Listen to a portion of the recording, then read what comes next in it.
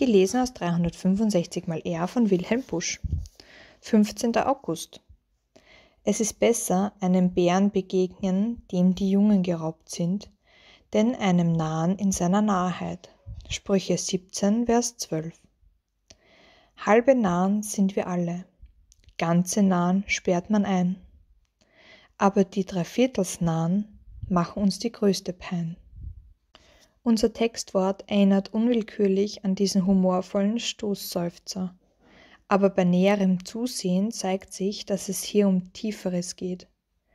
Einem Bären begegnen, den die Jungen geraubt sind. Das ist lebensgefährlich. Und nun soll es noch gefährlicher sein, einem Nahen zu begegnen? Ja, der Bär kann uns das Leben kosten, aber ein Nah kann uns das Leben aus Gott nehmen. Leben aus Gott? Was ist das? Von Natur haben wir es nicht, aber wenn Gottes Geist in uns arbeitet, dann erwachen Buße und Glaube an Jesus, den gekreuzigten Erlöser. Dann lernt man beten und Gottes Wort lieben. Das ist Leben aus Gott. Aber was sollen wir viel Worte darüber verlieren? Ein Toter begreift nie, was das Leben ist. Und wer Leben aus Gott hat, der kennt es.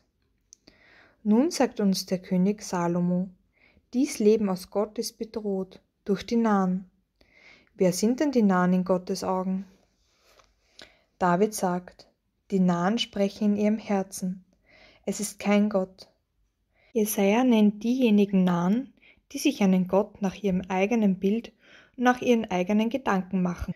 Paulus sagt im Römerbrief von den Verächtern Gottes. Da sie sich für weise hielten, sind sie zu Nahen geworden. Und Gott selbst sagt einem reichen Mann, der nur auf das Irdische bedacht war, Du Narr, diese Nacht wird man deine Seele von dir fordern.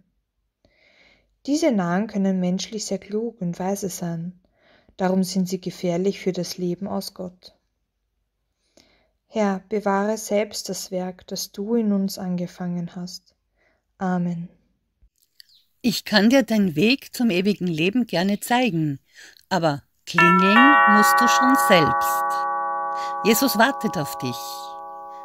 Sprich mit ihm im Gebet und lade Jesus in dein Leben ein.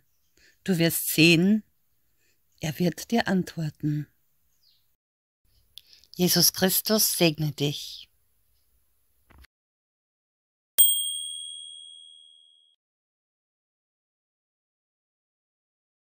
Dankeschön.